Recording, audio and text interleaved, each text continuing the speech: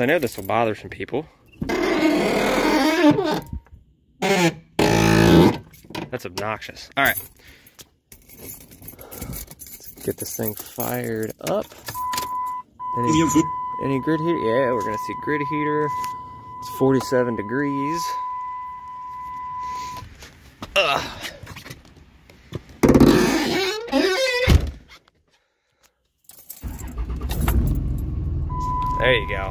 All right, so in today's video, we're gonna go over everything wrong with my 2006 Ram 2500 that I bought sight unseen because that's just what YouTubers do. So let's get into that. All right, today's video, like I said, we're gonna be talking about everything wrong with this thing. First things first, we're gonna start with the door. You guys seem to love the door. So it's this little hinge thing right here.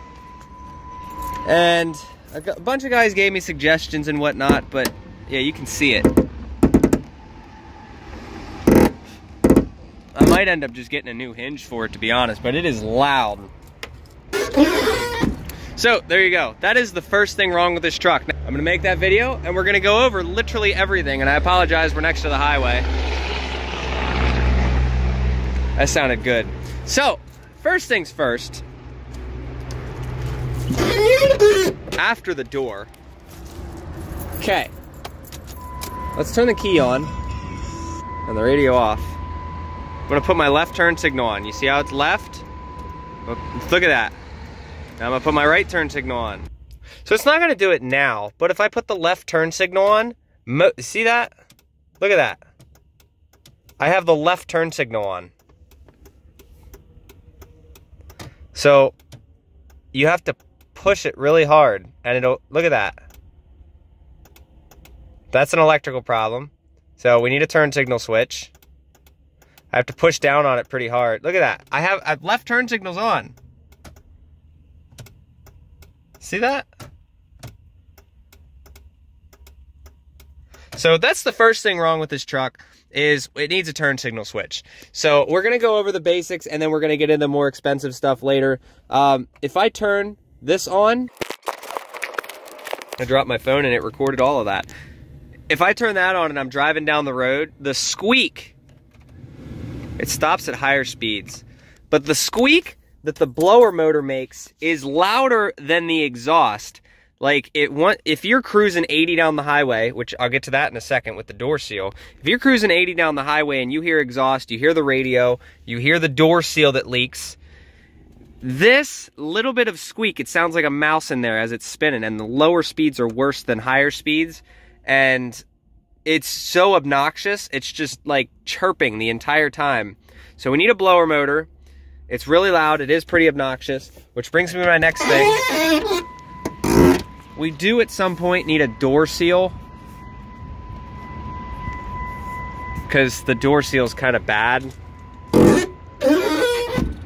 and it makes very loud noises going down the road. So, that's the next thing. We got the door seals. All right, so we're gonna get into a couple of engine bay stuff. So, unfortunately, the truck definitely needs at least one injector. I don't know how many it needs, but it at least needs one. So the truck will randomly idle, like it'll be idling great, and then out of nowhere, it'll just start freaking out and getting all like it'll just start idling weird. So somebody, uh, that's supposed to be mounted up there. So it'll just start idling weird and misfiring kind of, sort of, and like burling and burping, and it just it's just weird. Um, so we definitely need at least one injector. I'm gonna pull them out and get them tested at some point. It's gonna cost like 300 bucks just to get them tested, but I am gonna do that. So that's number one under the hood. Number two, this thing has a massive oil leak, which you can't see because of the wet parking lot but the case, the entire front case is leaking. So I need to fix that, which we're ordering all the parts today. We should have them sometime, uh, depending on when everything comes in. I don't know, but we're gonna have to do the front case. So the camshaft's gotta come out of the motor. I gotta go get dowels. I gotta, uh, all that stuff. So that's gonna suck, but I do have to do that. Um, one little minor thing, besides, like we'll go over the, the, like this is broken. Um, and a lot of the wiring just kind of looks like ass, which we will be going over and doing better. Like this is from the previous owner or previous previous owner. I don't know. I don't like to call people out without knowing who it is. But there's that, so you can see like the oil leak on like on the alternator and shit. We just did the oil pan gasket. Um, none of the gauges are hooked up. Like for the EGT, there's a transmission temp sensor, there's a boost a boost gauge. Like none of that stuff's actually hooked up. But that's the next thing wrong with this truck: elect injectors and electrical. Also, it doesn't have a uh, fan shroud. All right, so next thing wrong with this truck, I'm gonna come back to the interior here. The speedometer. If you are doing 80 miles an hour on the, or if you're doing 90 miles an hour on the speedometer, you're actually doing 80. So the speedometer up in the higher range is about 10 miles an hour off. And I've kind of been just using the average of like, okay, at 10 miles an hour, it's 9, at 20, it's 18, at 30, it's 27, and so on and so forth. At 40, you subtract 4, at 50, you subtract 5, yada, yada. But once you hit about 70, 80-ish, uh, it starts to change there a lot more drastically. Like if you're doing 80, you're doing like 71. So, and then when you're doing 90, it's actually doing 80. So, a little bit more drastic up top, not by much, maybe by one. But that is the next thing that is physically wrong with this truck is the fact that the speedometer is way off.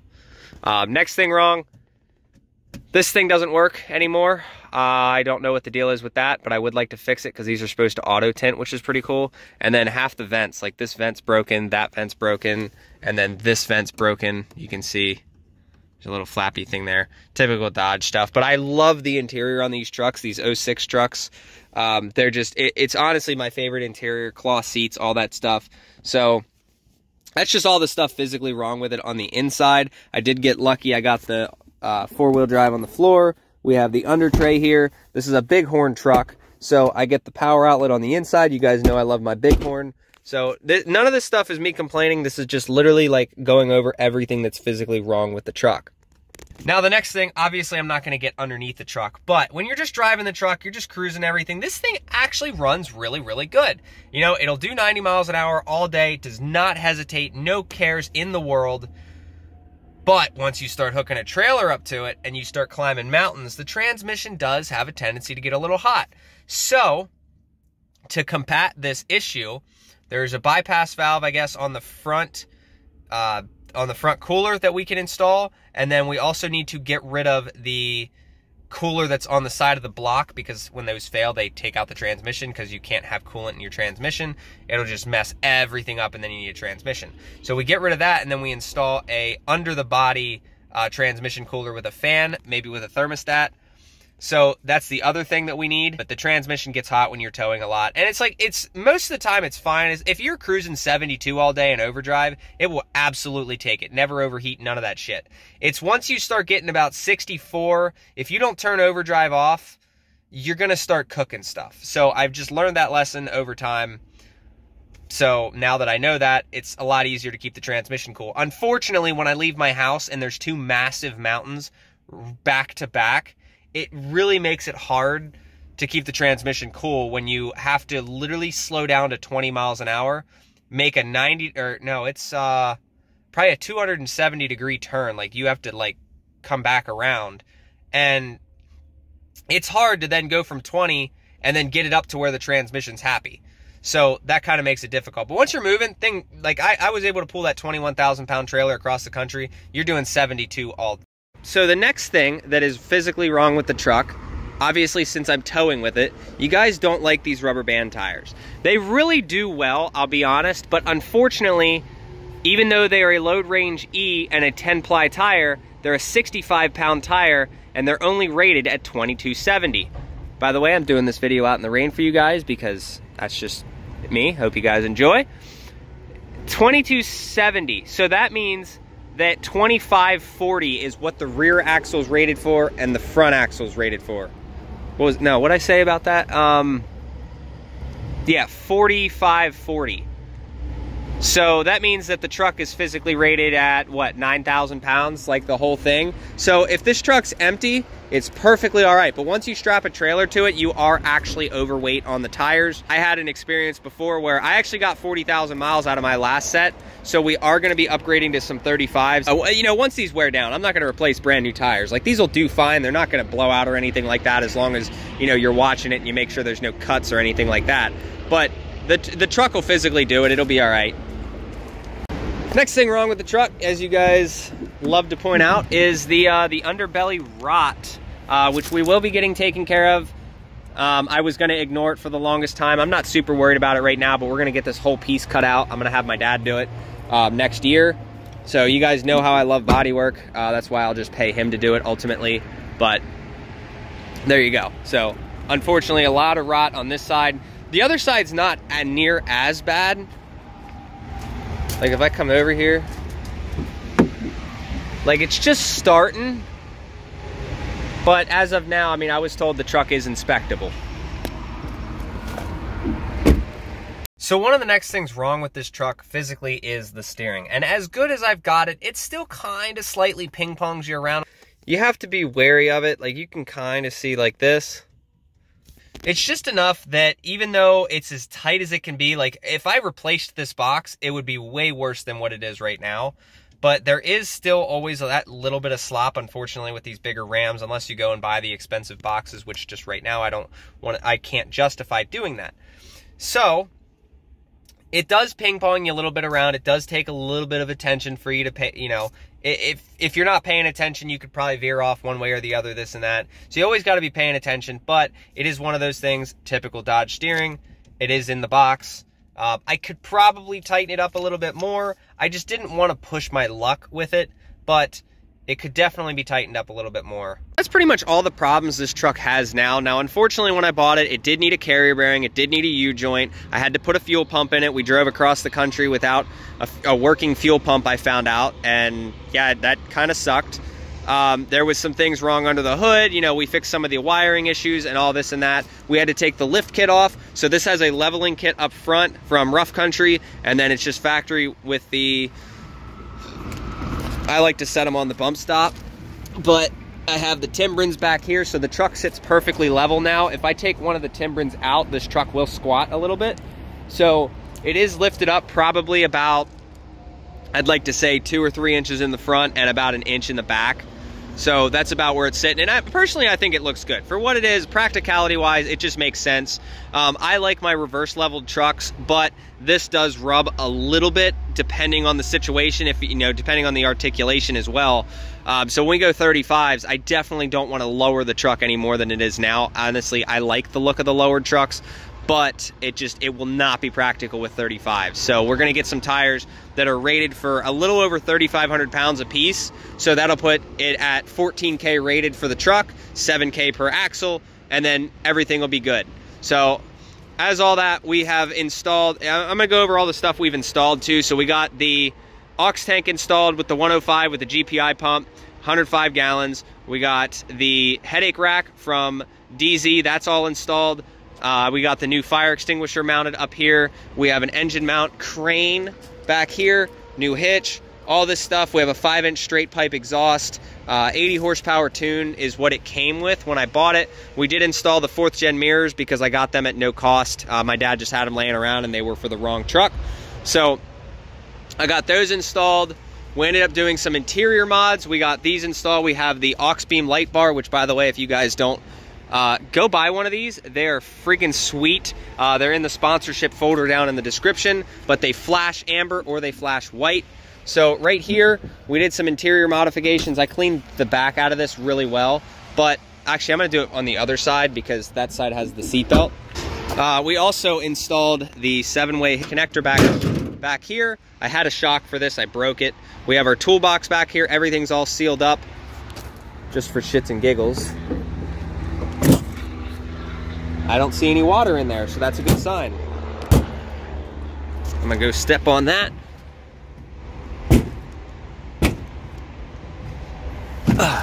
So we are using this truck for some mobile work as well as a little bit of hot shot. Um, unfortunately, I went and did that load the other day. I think my profit on that was like 250 bucks. So that's literally for you guys.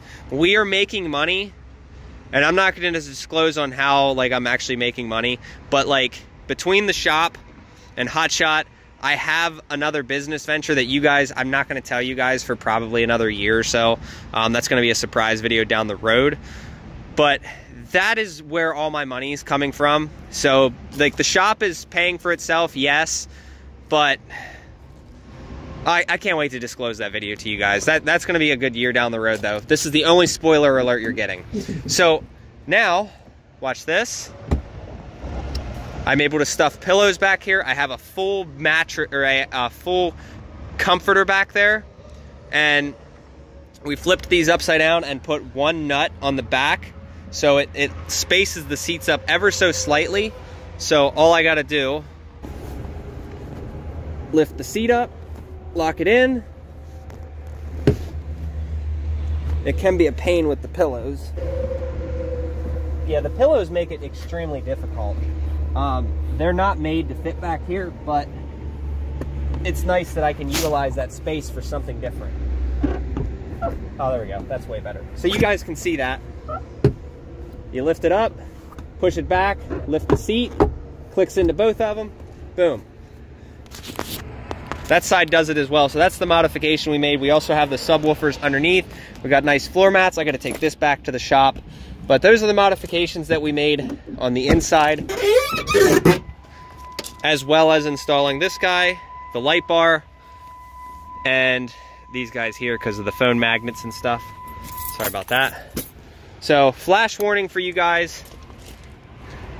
If you guys want this light bar, go and uh, check out link in the description. So on off mode.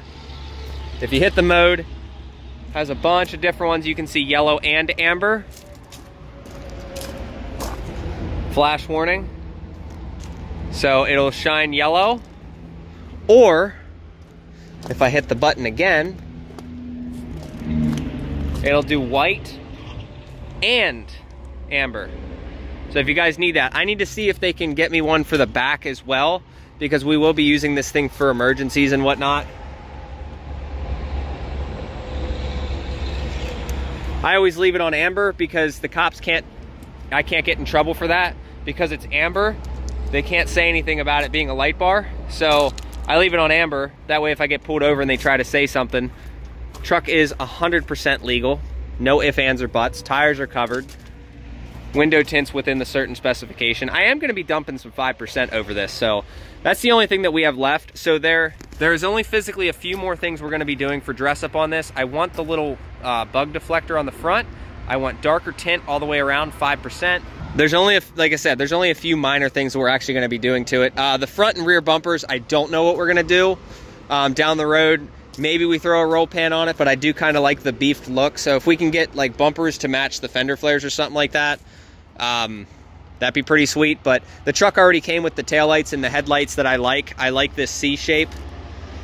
So kind of matches the modern stuff, but yeah, this is basically my mobile rig. Um, I use it for hot shot. It's got a B&W turnover ball as well, and all my tools are in the back here. This thing does gnarly burnouts. I've been, last night, I kicked this thing sideways probably four or five times with Josh Thor. So I do need to get this mess cleaned up here, which we're gonna be doing now. Yeah, we also have an air compressor up there just in case. Uh, it kind of sucks, so I definitely need to get a bigger one. But besides that, there's the truck for you guys. If I missed anything or you guys want any more information about it, um, it is a 9000 GVWR truck.